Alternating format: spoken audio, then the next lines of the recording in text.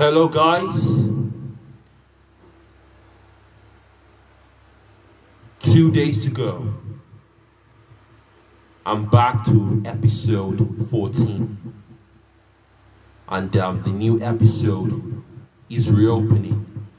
And uh, the total playing time is 56 minutes for, for the news and politics.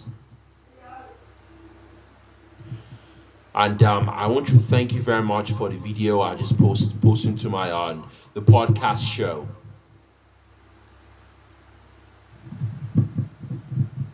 I'll see you on two days.